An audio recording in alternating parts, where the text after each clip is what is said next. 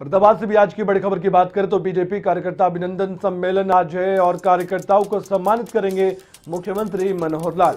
BJP कार्यकर्ताओं को सम्मानित करने का काम आज सीएम के द्वारा किया जाएगा। और साथ ही आपको ये भी जानकारी दे दें कि सांसद कृष्ण पाल गुर्जर यहाँ पर मौजूद रहेंगे और बाकी जो बीजेपी के नेता है बड़े, वो भी यहाँ पर शामिल होंगे।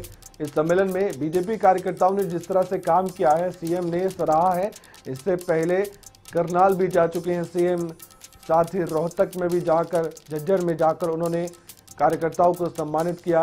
बीजेपी कार्यकर्ता अभिनंदन समारोह इसका नाम दिया गया है। फरीदाबाद में भी एक बड़ी जीत हासिल की है कृष्णपाल गुर्जर ने।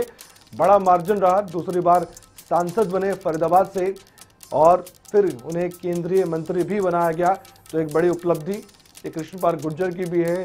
तो नरेंद्र मोदी के नाम पर बेशक वोट दिए गए, लेकिन ज़रूर जानते हैं मुख्यमंत्री मनोहर लाल की उनके कार्यकर्ताओं ने ये मेहनत की और इसलिए उन्होंने कहा भी था कि बेशक नरेंद्र मोदी बुरा माने या कुछ भी कहे, लेकिन ये मुमकिन हुआ है तो बीजेपी कार्यकर्ताओं की वजह से हुआ है। इसलिए और भी ज़्यादा हौसला बढ़ाने के लिए विधानसभा चुनाव की तैयारियों में कार्यकर्ताओं को जी जान से जुटाने के लिए ये अभिनंदन समारोह आयोजित लगातार हर लोकसभा सीट पर आयोजित किए जा रहे हैं और इसी कड़ी में फरीदाबाद आज पहुँच रहे हैं मुख्यमंत्री मनोहर लाल।